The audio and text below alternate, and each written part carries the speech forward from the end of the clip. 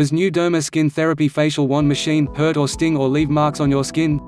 There is no marks or anything like that, but you have to start with low setting and move on to your comfortable level. The higher you go the better result is.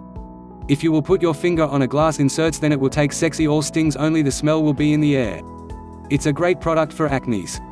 Thanks for watching. NuDerma Skin Therapy Facial Wand Machine is now available on Amazon link in below description. Please subscribe our channel and do like and share this video.